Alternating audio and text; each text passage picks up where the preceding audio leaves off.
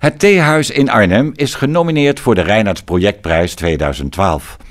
Het voormalige entreepaviljoen van station Presikhaaf, waar RTV Arnhem al eerder over berichtte, fungeert momenteel als ontmoetingsplek voor het aangrenzende park. De fraaie architectonische uitstraling krijgt met de nominering door Reinhardt nu ook landelijke aandacht. De aluminium kozijnfabrikant kent jaarlijks een prijs toe aan het mooiste gebruik van haar producten.